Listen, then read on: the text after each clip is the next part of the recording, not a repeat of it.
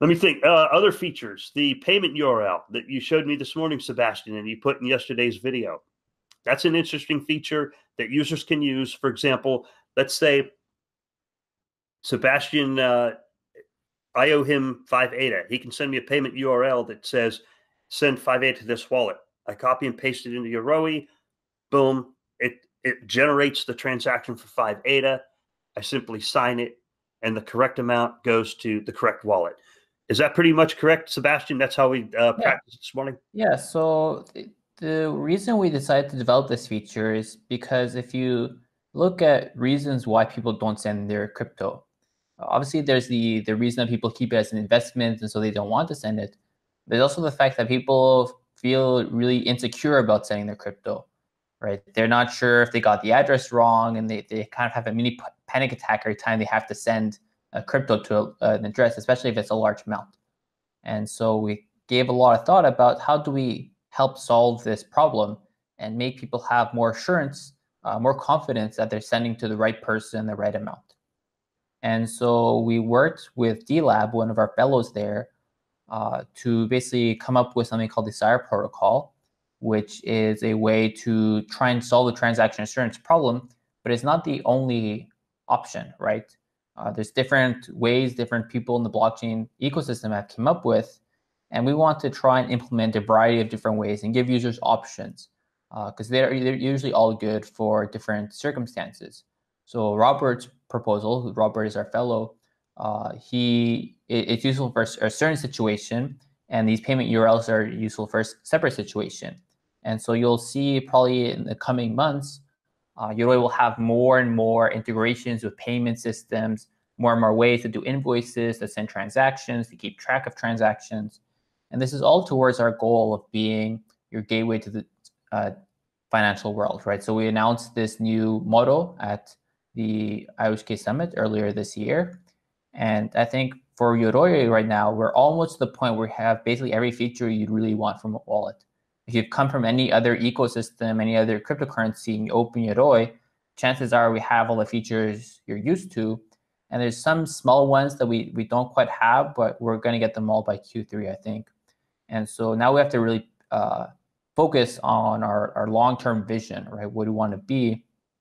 And we settled on uh, being the you, your gateway to the financial world. And the reason we set on this is because if you look at uh, cryptocurrencies, uh, even in the dApps ecosystem, a lot of people have settled on DeFi, right? It's all about financial applications. Obviously, stuff like games have taken off to some degree, uh, but mostly dApps and, and usage of cryptocurrencies revolves around financial applications. And so we thought this is really something that we have to focus on and that we think will attract the most users. And so this uh, payment URL feature is kind of our first uh, step into this, this vision and we have a lot of more features that we're working on currently, a lot of features we have planned that'll continue to drive us towards uh, that kind of long-term goal.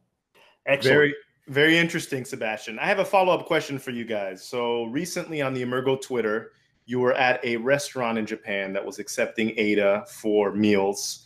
And this micro payment invoice system that Emurgo is working on, is this something that is consumer to consumer, or is this something that could be utilized for business to consumer, saying that the the the business that's actually producing these invoices can produce them in a timely fashion to send to their customers immediately for for example the food payment that uh, Emurgo just tweeted about? Yeah so i think it'll help in that kind of situation because if if you look at some of the videos of the event the way people work is that the shop owner would have a QR code, right, on their phone, and the people who would pay uh, for. So for those who don't know, by the way, uh, there's a famous restaurant in Japan that started accepting ADA payment, and so we had a launch event where we had I don't know how many people, probably like 50 people, maybe more, show up to eat there, and then everybody paid in ADA. And so if, if you look at the the payment that happened, basically the store would have their QR code on their phone, and the people as they're leaving they they pull up their phone scan the qr code input the amount and then send right and so they had written on like a board like today's meal is however much ada okay uh, but the problem we had is that although payment is very fast right you just scan a qr code input number and send it's not really ideal because you don't want the customer to be inputting the number, right? It'd be easier if they scan a QR code and not only does it pre-fill the address, it also pre-fills the amount, right? And so if we had this feature earlier, it would have been helpful in this kind of situation, uh, which is why we want to develop the, these kinds of payment systems and invoice systems.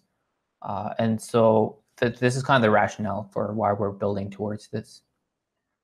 That makes sense. That makes sense. And I think that that works in the future. And if they can create it in a timely fashion, it it can expand from just a restaurant model to just a regular store model, whichever stores want to accept this. And online works as well because you could generate invoices automatically and then send it to your customer. And that would probably be a great use case for that. Um, I wanted to oh. talk. Oh, Nico, uh, you wanted to say? I, yes. Yeah, I wanted to add something that's like pretty interesting. Sometimes you can think a lot of the projects from Emurgo, they're like really diverse and maybe they don't connect. But for example, uh, this specific topic is really interesting because it connects like different projects. And uh, one of them is from uh, Robert Kornacki, which uh, you guys already mentioned with like the SIRE protocol, which is for invoices. And this is like pretty good for like payment certainty for businesses. And also, like five minutes ago, we were talking about this URL uh, link that you could like use to like do payments. So actually, these two things and the restaurant connect pretty well because if we have the protocol and also we have this easy way to send payments, we could have like easy to pay payments because you wouldn't have to be like typing an address and this could happen like in real life with the QR code, but also on top of that, you could have the payment certainty that everything's going well. And also uh, these like uh, things that we're focusing because you're always trying to focus in, in like uh, everything that's like more related to financial. And uh, right now, this is only like the first wave of like things that we are able to do. Uh, but uh, when we get uh, Goguen smart contracts, uh, we already started working like a lot of new things that are also going to be complementing with this, and uh, we are like pretty excited. Okay, so let me try to understand this. Some kind of rapid. You have SIRE, one someone protocol. Then you have this new payment URL and Yoroi, and somehow those two communicate. I remember SIRE has some kind of ability to wrap the transaction inside to hide it. How does that interface work? Um, with SIRE, I could send you an invoice. With Yoroi, you could send me a payment URL. So I guess at some point you're going to kind of like bring the two together so that uh, it's one relatively simple tran- transaction. Is that what's going to happen? Yeah. Uh, so basically, uh, we can think of like two cases scenario. One that we are like in real life. So basically, right now uh, in Yoroi Mobile, you can scan a QR code, but that's only for like the address. It doesn't contain like the amount of money that you want to send. So, uh, for example, if you need to pay like uh, 103 ADA.679.123, uh, like it's typing the thing, it should be like super fast. So that's why like uh, the payment URLs like are pretty easy because it could be embedded in the same QR code. And uh, basically you will scan the QR code, you will confirm, and then you will autofill like the address and also the amount.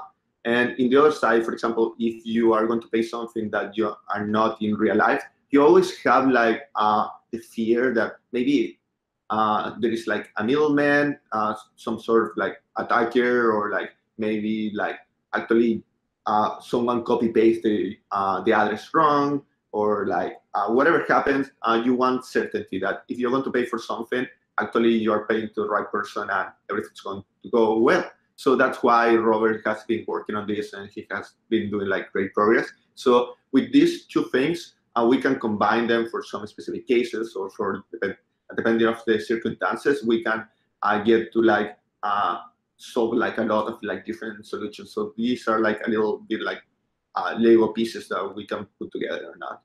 And uh, the idea is that we are going to complement with uh, the platform that we are using like Seiza, Euro, Euroimo, and some others. Nico, I had a quick follow-up question. So is this something that's static or dynamic? Like, for example, in this current market, prices are very volatile. So, say you send an invoice to someone and um, it's a restaurant that's working and the ADA value drops the next day. Is this something that could time out after 24 hours and you'd have to regenerate a new invoice based on the current market prices? Or is this something that just remains static and it has no sort of change over time? Uh, this is like a really good question, and this is one of the things that about like solving and like something that could be like pretty cool uh, to solve these problems. That when we get smart contracts, we could uh, be using uh, oracles, which basically means that it's a, a trusted source of like some truth. And basically, what we could be like uh, doing with this is we could like set times uh, so something expired. Or also, we could like peg uh, the price to yen, to USD dollar, or to something else. And this way, we could like uh, be doing like uh, uh, payments in like with more uh, customization. So right now we have like the first wave of innovation, but on top of this, the idea is to continue uh, building more like Legos on top of them, so we can have like cooler stuff. That's excellent. So basically, you're you're getting the right money to the right person, and it's more automated and faster. I like that. That's a good way to get towards the mass adoption side of things. yeah, I, and uh, for example, you also got uh, when we get like smart contracts, uh, we can also combine with like, uh, for example, you actually come to this restaurant quite often, so uh, you could apply like uh, some discounts automatically. And for example, what is like being really interesting is that in there are smart contracts like uh, you can also uh, do like uh, recurrent payments automatically. So sometimes maybe you don't even need to pay, and you could just have like subscription and other type of uh, payment methods. That uh, right now they're like blocked because uh, every time that you want to pay for something, you manually need to pay for that. Okay. And what will be cool that you can have a subscription, but you can cancel it at any time, but you don't need to be like doing manually every time. Okay. And eventually with the smart contracts, I could do like once I buy five tacos, I get one free. Yay. Rick, we were th- we were speaking about that in the mass adoption episode. I think the one of the beginning episodes about how like coupons and loyalty points, if this could get introduced into the blockchain, it would bring more people in, the everyday people who are concerned about saving and making sure that their money stretches as far as possible. So that's good.